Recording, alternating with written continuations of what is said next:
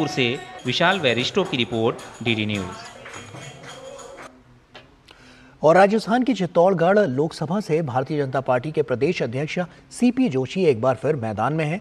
चित्तौड़गढ़ से दो बार सांसद रहे सीपी जोशी विकास कार्यों के नाम पर वोट मांगकर तीसरी बार जीत की हैट्रिक दर्ज करने के लिए धुआंधार चुनावी प्रचार कर रहे हैं।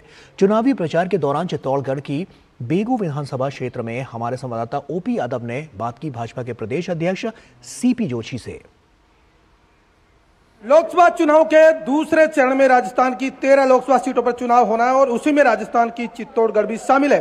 यहाँ से भारतीय जनता पार्टी की तरफ़ से प्रदेश अध्यक्ष सीपी जोशी लगातार तीसरी बार हैट्रिक जीत दर्ज करने के लिए चुनावी मैदान में आइए बात करते हैं, सर, लगातार आप धूप हो, आंधी हो, तूफ़ान हो, चिलचिलाती धूप में मतदाताओं के बीच जा रहे हैं और बड़ी भीड़ जो उमड़ रही है, उसका क्या संदेश हम देखें? देखिए, ये नरेंद्र मोदी जी के और भारतीय जनता पार्टी के प्रति स्नेह है और 10 वर्षों में जो नरेंद्र मोदी जी के नेतृत्व में हुआ है, ये उसी के प्रति विश्वास है। पचपन साल से जो सरकारें देश में काम कर रही थी, उन्होंने किसान और गरीब की इतने वर्षों तक चिंता क्यों नहीं की? आखिर क्या कारण है पचपन साल से ज़्यादा मोदी जी ने 10 वर्षों में करके दिखाया?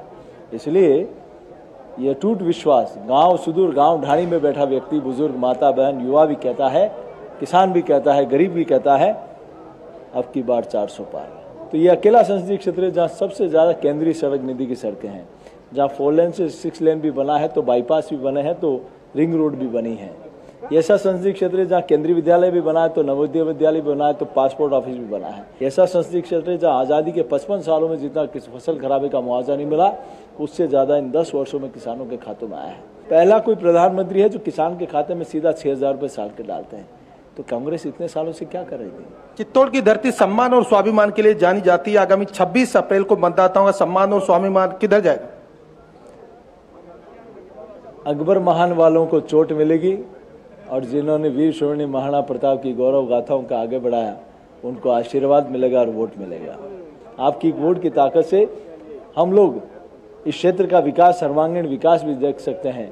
तो भारत दुनिया का सिरमौर बने इस दिशा में भारत को बढ़ते हुए देख सकते हैं। चुनावी प्रचार के दौरान हमने लोगों से संवाद किया। बीते पाँच साल में यहाँ से एक मंत्री थे जो आपके सामने फिर चुनावी मैदान में जनता का कहना कि लोगों को बीच नहीं आए।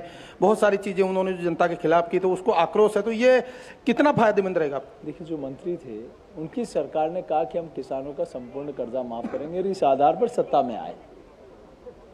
वो स्वयं सहकारिता मंत्री थे। कितने किसानों का कर्जा माफ़ किया? आज पूरे प्रदेश का किसान कह रहा है कि भैया, कितने किसानों ने आत्महत्या की, उसका जिम्मेदार कौन है? ज़मीन अलॉटमेंट में घोटाला मिड डे मील में घोटाला, सहकारिता में भर्ती का घोटाला। और जब मैंने नामांकन किया था, उन्होंने बीजेपी नेताओं पर कुछ आरोप लगाए थे। मैंने उस दिन चैलेंज किया और आज भी चैलेंज करता हूँ। अभी तक वो सामने नहीं आया मैंने कहा सीपी जोशी किसी भी जाँच को तैयार है? हमारा पार्टी का कोई भी नेता तैयार है। तो ये थे चित्तौड़गढ़ से भारतीय जनता पार्टी के प्रत्याशी सीपी जोशी जिनका मानना कि बीते 10 साल में किए गए विकास कार्य की बदौलत न केवल जनता के बीच प्रचार करने जा रहे हैं, बल्कि अगली बार भी भारी बहुमत से जीत को लेकर पूरी तरह आश्वस्त है। मेरे सहयोगी कैमरामैन गौरवगिरी के साथ में OP Yadav DD news Begu, Chittorgarh. और केरल के तिरुवनंतपुरम में कांग्रेस नेता सचिन पायलट ने कहा, भाजपा नेतृत्व